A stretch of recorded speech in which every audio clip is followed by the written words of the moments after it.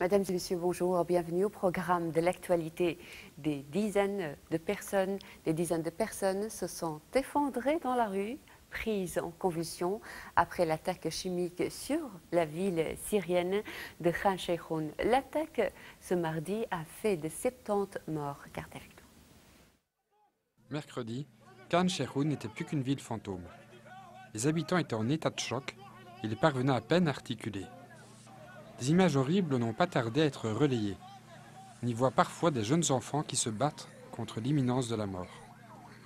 À l'heure où nous évoquons ces faits horribles, aucune preuve matérielle ne nous permet encore d'établir la responsabilité politique et militaire de ce nouveau crime de guerre. Du côté de l'administration américaine, on semble convaincu que la frappe aux armes chimiques a été réalisée par des avions du régime syrien, alors que du côté russe, on envisage une autre explication ce serait la destruction d'un atelier de fabrication d'armes chimiques, un atelier tenu par les rebelles, qui a été détruit par des avions du régime et qui aurait disséminé les substances toxiques dans l'air. Après le massacre de Khan Sheikhoun, le vice-président américain Mike Pence a déclaré que toutes les options étaient sur la table après l'attaque chimique. De son côté, le secrétaire d'État américain Rex Tillerson a demandé aux Russes de reconsidérer leur soutien au régime syrien. Les réactions à l'attaque chimique de Khan Sheikhoun près d'Idlib se poursuivent. Pour Rex Tillerson, le temps est venu pour la Russie de faire marche arrière concernant le soutien envers le président syrien Bachar al-Assad. Un responsable du département d'État américain a déclaré que toute personne rationnelle qui a la possibilité de voir des images des victimes sait que ce que les Russes disent au sujet d'un entrepôt de produits chimiques bombardé par le régime n'est pas vrai. Le président Trump a ajouté que le meurtre d'enfants innocents par des gaz chimiques violait toutes les lignes rouges le Conseil de sécurité des Nations Unies, à la fin d'une session d'urgence tenue mercredi pour discuter de l'attaque, a finalement reporté le vote sur un projet de résolution condamnant le régime syrien. Assistant ambassadeur de la Russie auprès de l'organisation internationale, Vladimir Savronkov réclamait une enquête objective sur l'attaque. Le commandant général des forces démocratiques syriennes a condamné le massacre perpétré à l'arme chimique dans la ville de Khan Sheikhoun, près d'Idlib. Pour les responsables des forces démocratiques syriennes, c'est un crime contre l'humanité. La déclaration des forces démocratiques syriennes dit que des civils innocents, en particulier les enfants d'Idlib et de Khan Sheikhoun, ont été attaqués par des armes chimiques, entraînant des dizaines de victimes. Nous condamnons, dit la déclaration, ce terrible massacre et nous condamnons les partis qui l'ont accompli. Nous considérons qu'il s'agit d'un crime contre l'humanité dont les auteurs doivent être punis.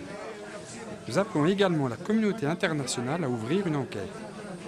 Nous soulignons, disent les forces démocratiques syriennes, la nécessité de trouver une solution appropriée à la crise syrienne et à faire respecter l'engagement de ne pas cibler les civils dans ce conflit sur le territoire syrien. Le Conseil démocratique de Syrie, le Massada, a également condamné le massacre commis contre les habitants de Khan Sheikhoun, ainsi que l'attentat terroriste contre des civils dans le métro de la ville russe de Saint-Pétersbourg. Le texte de la déclaration sur le massacre de Khan Sheikhoun est le suivant. Nous, au Conseil démocratique de la Syrie, condamnons le terrible massacre commis contre notre peuple à Khan Sheikhoun dans la campagne d'Idlib en raison de l'utilisation d'armes chimiques internationalement interdites, des armes qui ont tué des civils innocents principalement des enfants et des femmes. Nous demandons également à la communauté internationale d'assumer ses responsabilités et d'ouvrir une enquête sur ce massacre et sur tous les massacres subis par les Syriens afin d'en responsabiliser les auteurs. Le Conseil démocratique de Syrie condamne également l'attaque de Saint-Pétersbourg et souligne le besoin de lutter contre le terrorisme.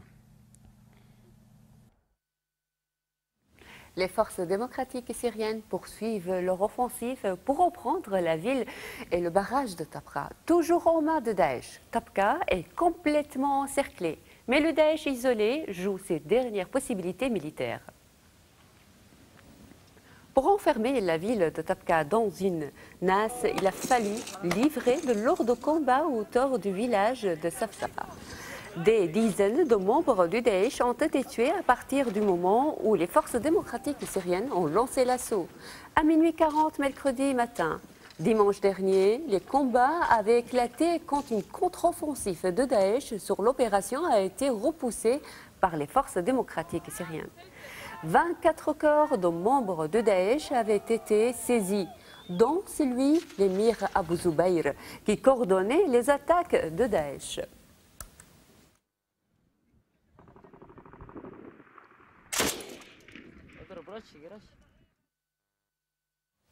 Trois femmes ont essayé d'entrer dans la zone contrôlée par les forces démocratiques syriennes, mais elles étaient empêchées. Finalement, elles ont grimpé sur une distance de 3 km pour éviter d'être aperçues par les membres du Daesh jusqu'à ce qu'elles atteignent enfin la zone tenue par les forces démocratiques de la Syrie.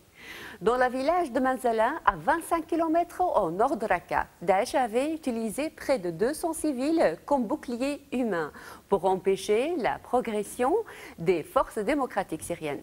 De dépit, des membres du Daesh ont ciblé et tué sept civils. Pendant ces instants, ces trois femmes ont réussi à s'échapper. Regardez avec nous. Elle s'appelle Nasrin Abdullah. C'est une survivante. Elle a raconté lors de sa visite à l'unité de protection de la femme les événements qu'elle avait subis jusqu'à ce qu'elle atteigne enfin les positions des forces démocratiques syriennes. Cette survivante de 29 ans, qui a refusé d'être identifiée, a expliqué qu'après que les combats se soient intensifiés à Deir sa mère, sa sœur et elle-même ont essayé de fuir Raqqa pour entrer dans les zones contrôlées par les forces démocratiques syriennes. Cependant, les membres de Daesh ne leur ont pas permis de quitter la ville. Pendant notre séjour à Raqqa, qui n'a duré que quelques mois, nous avons été harcelés régulièrement par les membres de Daesh, dit-elle. Nous avons essayé plusieurs fois de sortir de la ville, mais ils voulaient nous utiliser comme bouclier humain pendant les combats contre les forces démocratiques syriennes. Elle continue. Les membres de Daesh ne nous ont pas permis de partir jusqu'à hier soir. Ils nous ont rassemblés avec beaucoup de gens dans le village du superviseur, et là, on nous a emmenés à l'un des points des forces démocratiques syriennes. Alors que nous nous sommes approchés des combattants des forces démocratiques syriennes, Daesh a attaqué le groupe de civils pour tenter de forcer la position des forces démocratiques syriennes. Au cours des affrontements, nous avons alors essayé d'atteindre les zones tenues par les forces démocratiques, mais les mercenaires empêchaient quiconque de passer. Alors que nous fuyions la scène de l'affrontement, nous rampions, dit-elle et ce sur une distance de 3 km, de crainte de voir des membres de Daesh devant nous, parce qu'ils avaient déjà tué sept civils sous nos yeux. À la fin de son récit, la survivante encore expliqué qu'elle s'était cachée dans l'une des maisons abandonnées jusqu'à ce que les affrontements se terminent. Ensuite, elles ont encore marché jusqu'à ce qu'elles atteignent les combattants des forces démocratiques. Ces combattants nous ont immédiatement pris, moi et ma mère, vers une clinique mobile. Là, ils ont soigné ma mère. La porte-parole officielle des unités de protection des femmes, Nesrine Abdallah, a promis de poursuivre la lutte jusqu'à ce que toutes les femmes soient libérées de l'opération de ces groupes mercenaires. 4000 personnes qui fuient les zones sous contrôle du Daesh à Raqqa et dont les banlieues sont arrivées dans la ville d'Aïnissa au cours de la semaine. Regardez avec nous. On a compté cette semaine environ 4000 réfugiés qui sont arrivés dans la ville d'Ain Issa. 3000 de ces réfugiés sont logés dans le camp de la ville, tandis que les autres se sont répartis dans les villages voisins. La plupart de ces personnes déplacées proviennent de la ville de Raqqa, de celle de Tabqa, de Tadmour, d'Al-Sorna Khafsa, d'Al-Maskana et de Deir Le camp comptait actuellement 250 tentes occupées par des familles de réfugiés et deux ou trois familles vivent sous une même tente. Les autorités ont donc mis en place toute l'aide nécessaire aux personnes déplacées. De plus, une assistance médicale se poursuit en coordination avec Médecins sans frontières. Le président de la commission des réfugiés, Jalal Al-Ayaf, a fait l'éloge de l'état du camp et il a souligné que le camp reçoit chaque jour plus de 150 familles. Parmi ces réfugiés, il y a Mohamed Kreer de la ville de Tadmeur il y a Ziad Shaout de la ville de Rastan dans la province de Homs. ces hommes ont pu parler du bon accueil qui leur avait été réservé par les forces démocratiques syriennes et du sentiment de sécurité qu'ils connaissaient enfin. Des centaines de familles de réfugiés se rassemblent à proximité des lignes de front et sont évacuées par les forces démocratiques syriennes. Elles sont ensuite envoyées dans la ville de Mahmoudia, de Jarania ou d'Ainissa. Selon les chiffres publiés par l'agence Awar, plus de 8000 personnes ont ainsi déjà été déplacées. Lors d'une conférence internationale organisée à Bruxelles sur l'avenir de la Syrie, la communauté internationale a promis mercredi 6 milliards de dollars d'aide humanitaire pour la population syrienne et pour les réfugiés en 2017. Le commissaire européen de l'aide humanitaire, euh, Christos Silenders, a déclaré à la fin de la réunion que cette conférence avait accouché d'une promesse collective de 6 milliards de dollars pour cette année. Les participants à la conférence, qui s'est conclue mercredi à Bruxelles, se sont mis d'accord sur la nécessité de parvenir à une solution politique en Syrie sur la base des résolutions du Conseil de sécurité de l'ONU. La communauté internationale s'est engagée aujourd'hui à travailler ensemble pour soutenir un avenir pacifique en Syrie et mettre fin à la guerre, a déclaré Federica Mogherini, la coordinatrice de la politique extérieure de l'Union européenne, à la fin de la conférence.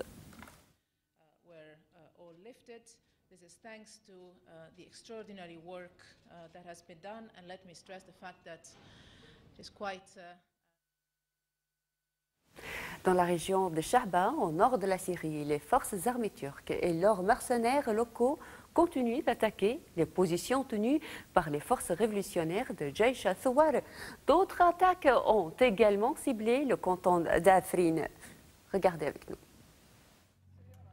Dès lundi soir, les combats reprenaient autour du barrage de Shahba, un barrage qui a été libéré de Daesh par le Jaish al-Thawar et qui est maintenant réattaqué par les bandes armées que la Turquie soutient en Syrie. Les villages proches du barrage, notamment les villages de Khaoul Sirouch et de Tilmedir, ont également subi le feu des agresseurs. Jeudi, les combats reprenaient sur plus de dix villages qui vont de Krol à Maranez, des attaques perpétrées depuis le bastion turc en Syrie d'Azaz. Dès jeudi, les forces révolutionnaires tuaient 12 agresseurs et en blessaient 40 autres. Les attaques menées par la Turquie dans la région de Sheba se font de façon intermittente. Et pourtant, Erdogan avait solennellement affirmé le 30 mars que l'opération menée par la Turquie sur le sol syrien était arrivée à son terme. La région de Sheba est maintenant en train d'être décurtifiée. Depuis le début de l'attaque turque sur la Syrie, le 24 août 2016 à Jarablus, il y a eu 50 des 217 villages kurdes de la région qui ont été totalement détruits et incendiés. Dans d'autres villages, les forces turques font venir des familles du Turkménistan oriental, des familles compromises avec le Daesh. Un communiqué du groupe Liva Suleyman Shah, un groupe qui vient d'être créé à l'instigation de la Turquie, fait état de changements démographiques à introduire dans la région de Sheba, en y faisant venir des familles de War, près de Homs. Le communiqué du groupe est explicite. Les familles proches, dit communiqué du PKK, seront préalablement déplacées de Sosinbat et de Khabasin. 60 familles de War ont été replacées là où vivaient ces familles kurdes. Le communiqué explique que tous les Kurdes seront déplacés hors de la région. Et d'autres préparations se mettent en place, notamment pour accueillir des responsables de bandes armées et leurs familles dans les villages de Nouman et de Khabachai.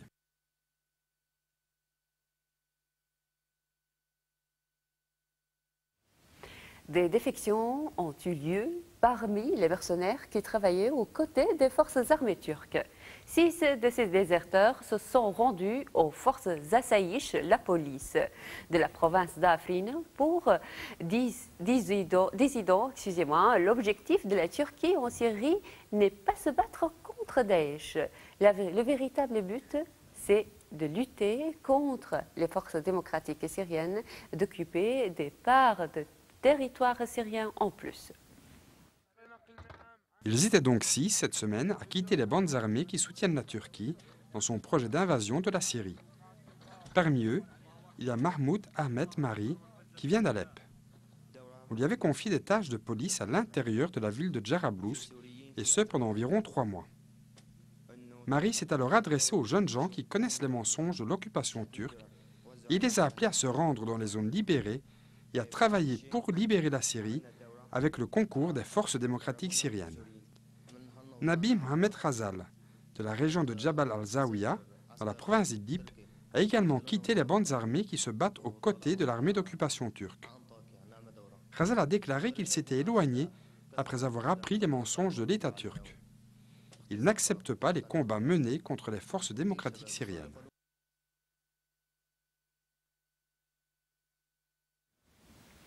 Le cimetière des martyrs Mohamed Karasongur se trouvait dans les montagnes de Kandil, au Kurdistan du Sud. Mercredi, les bombardiers turcs se sont acharnés deux heures durant de tout, de tout détruire pour bien euh, mettre euh, tous les encouragements de la population kurde. Regardez avec nous. À Carpentras, le 10 mai 1990, le cimetière juif avait été profané. 34 tombes ont été dégradées par des sympathisants néo-nazis et par des skinheads. Les plus grands responsables politiques français de l'époque, de Jack Lang à Pierre Mauroy, se sont rendus sur les lieux.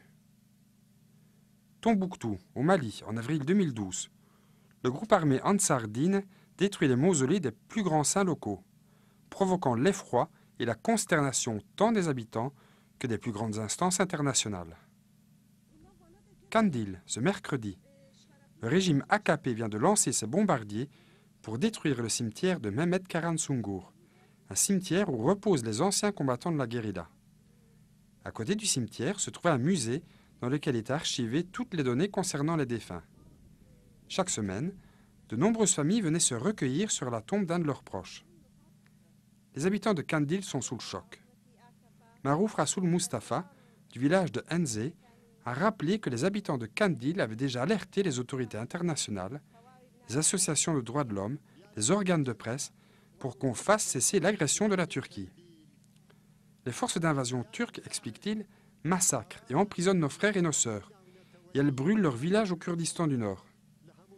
Les forces armées turques bombardent aussi les villages du Rojava, et maintenant, ils bombardent les cimetières de nos martyrs. Mais quelle offense nos morts, nos oiseaux et nos colombes ont bien pu leur faire. Pourquoi est-ce qu'ils les visent? Il est évident, dit-il, qu'ils n'ont pas peur uniquement des Kurdes vivants, mais également des Kurdes morts. Carpentras, Tombouctou, Kandil, ce qui relie ces néo-nazis, ces membres d'Al-Qaïda au Maghreb islamique, ou bien les responsables de l'AKP, c'est cette même vision de l'histoire, cette même vision de la mémoire et du respect du haut disparu. C'est une même conception de l'humanité. Une grève de la faim a débuté. Voilà déjà plus de 50 jours dans la prison de Chakran près d'Izmir. Depuis le mouvement de grève s'étend. De nombreuses prisons du pays, les prisonniers dénoncent l'isolement imposé sur le leader kurde Abdallah Öcalan dans sa prison d'Imrali, ainsi que les violations répétées des droits de l'homme dans les établissements pénitentiaires. Enfin, les grévistes de la faim ont dénoncé la nouvelle vague de violence et de guerre menée par le gouvernement d'AKP dans le dossier kurde. Les grévistes de la faim doivent affronter la violence de leurs geôliers. Diane Onan, la sœur de Barish Onan, enfermée à Chakran, explique à l'agence NF comment les gardes insultaient et frappaient les détenus. Des gendarmes tirent les dames âgées par les cheveux sur le sol et les familles qui tentent de visiter leurs proches subissent également des agressions. Chakran, c'est aussi cette prison où des mineurs sont détenus. Deux jeunes filles de moins de 18 ans et enceintes sont enfermées à Chakran. La nuit, leurs cellules sont fouillées. D'autres femmes qui ont leur bébé avec elles dans leurs cellules ne disposent même pas d'eau chaude pour la préparation des biberons. Fatma Demirel, une avocate de la branche d'Izmir de l'Association turque des droits de l'homme, a constaté qu'un bébé emprisonné de 8 mois recevait de la nourriture reconstituée avec un robinet d'eau froide. Prise de tout intense, la petite fille n'a pas pu être hospitalisée. En date du 6 avril, ils étaient une centaine à travers les prisons turques à avoir entrepris cette grève de la faim, illimitée dans le temps et sans alternance. Cette grève de la faim dans les prisons concerne aussi des responsables emprisonnés des partis HDP et DBP qui se joignent par solidarité à cette grève pour des périodes de cinq jours.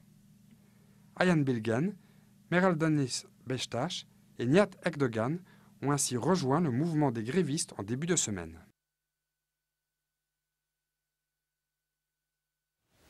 Plus qu'une semaine avant le référendum du 16 avril en Turquie.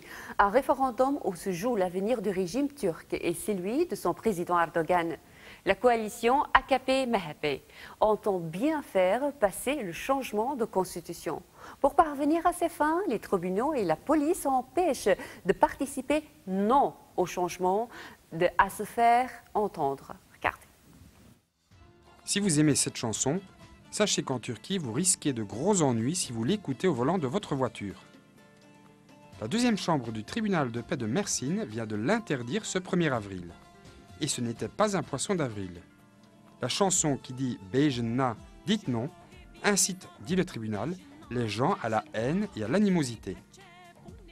Pour pouvoir interdire cette chanson du HDP qui milite pour le non au changement, le tribunal de Marcine a estimé qu'il n'était pas constitutionnel de dire non au slogan un drapeau, un État, une nation. Un slogan qu'Erdogan va répétant de ville en ville. Cette chanson du HDP avait déjà été interdite par les gouverneurs de Van, de Mouche et de Hamet avant que le tribunal de Mersin ne prenne une décision ayant valeur nationale. Vous aimiez Denis Naki, du club de foot Sport? C'est dommage, vous risquez de ne plus le voir non plus sur les pelouses il a été condamné à un an et six mois de prison pour la propagande terroriste qu'il entretenait, selon le tribunal de Gaziantep, sur les réseaux sociaux. Ce footballeur avait simplement posté des messages concernant les villes kurdes placées sous couvre-feu. Et Naki appelait à la fin de la guerre sur les réseaux sociaux. Vous lisiez le journal Sujin? Deux de ces journalistes, Nismi Guler et Zainab Turgut, ont été embarqués par les forces de police suite à un contrôle d'identité ce jeudi on est toujours sans nouvelles d'elle. Et puis, également dans le collimateur des juges et des fonctionnaires de Turquie dévoués à leur président, les organes de presse.